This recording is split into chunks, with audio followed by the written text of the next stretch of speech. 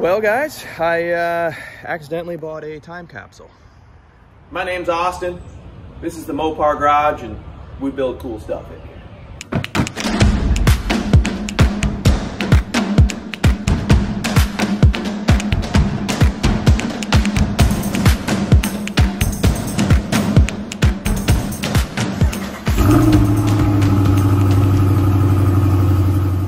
Well, guys, I accidentally bought one of the nicest second gen Cummins that I've seen in probably 10 years. Uh, I've been looking for a 2500 to tow my uh, various projects that I pick up. I'm always buying and selling junk, old Dodge stuff. So uh, wanted a decent, reliable second gen Cummins, which are, or V10, which is extremely hard to find. Wanted it in a standard, which makes it even more hard to find. The prices on Cummins right now are just out of hand. They're just not worth it. Um, I said, I said, I'm only going to buy a manual. However, I saw one pop up this morning on Marketplace. And uh, when stuff is priced fair, you got to strike, well, you got to strike quick, right? Because people price these things insane numbers. So when something's actually priced fair, you got to strike. Well, I bought accidentally an automatic and it is gotta be, like I said, probably the nicest second gen Cummins that I've seen in a very long time. It's 100% original, one owner, fully loaded, leather, heated seats. It's even got the little information center up top. This is a 2024 valve, original dashboard, looks like that. Original instrument bezel, looks like that. Original seats. I mean, this thing, the carpet, I just got in, I got it with dirty feet, but this thing is unbelievable.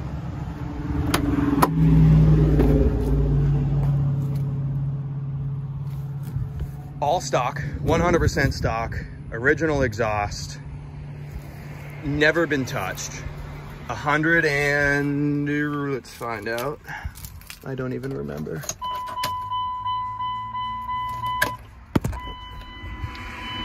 166,941 miles. Power windows, power locks, power seat works, power mirrors work. It is a 2000, so it's a VP44 truck.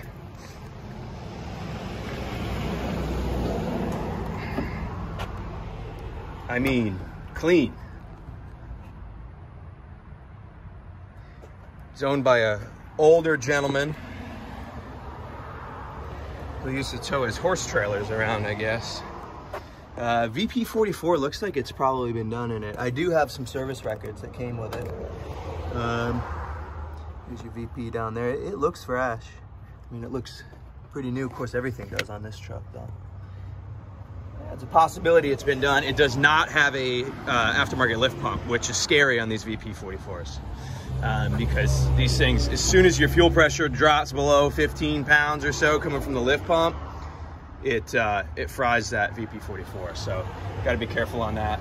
Absolutely zero blow by, all original, original airbox, original Holset turbo. I mean, this thing is close to a time capsule. And it was priced fair. I mean, the guy selling it was a real good guy. He's actually a new subscriber to the channel. What's up, Sam? I mean, it's got the um, Infinity stereo in it with our little tweeters. That's when you know it's really had the packages back in the day is when you had the old A-pillar speakers. Um, I mean, this thing is just, I love that old stuff. Diesel starting instructions. I love second gens, man. Um, extremely clean. Steering is super straight, super tight. It's got the cup holders, which these usually don't have anymore.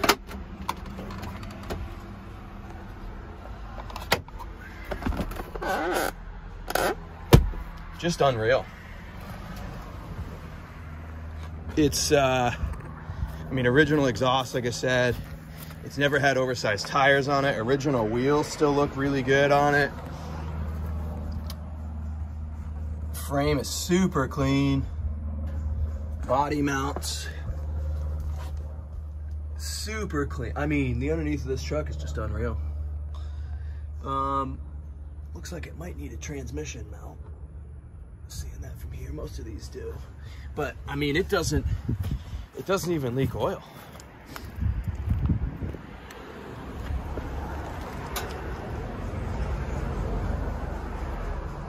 Unreal. Tappet cover, valve cover, none of that leaks. Hard to see with this camera, but there's the tappet cover down in here. It's still got just enough patina to be a driver. Barely enough patina to be a driver, but just enough. Um,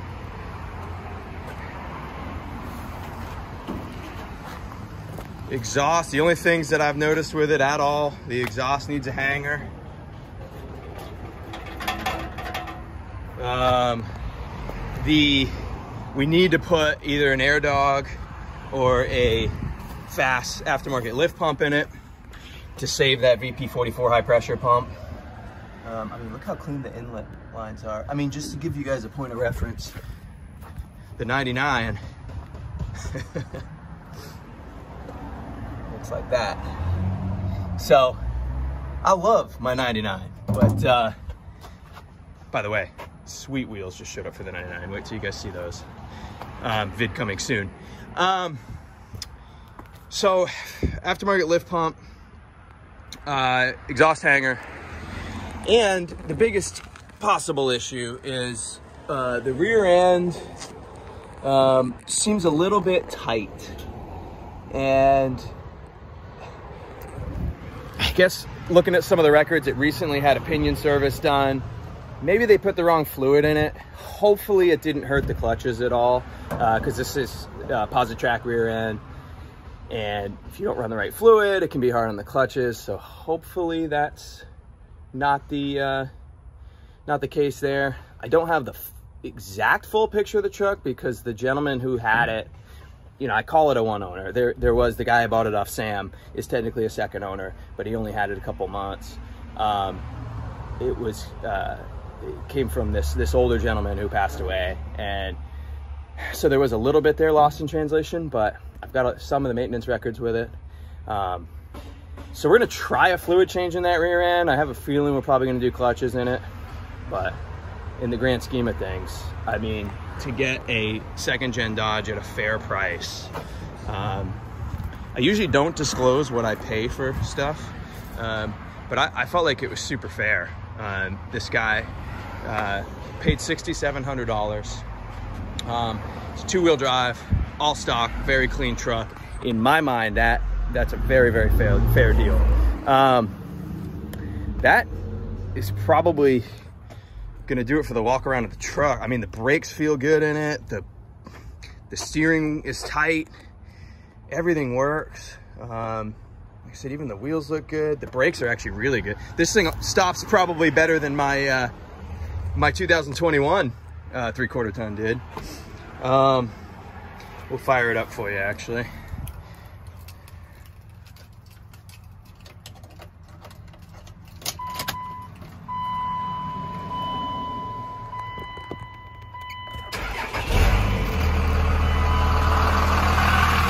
Absolutely zero blow by.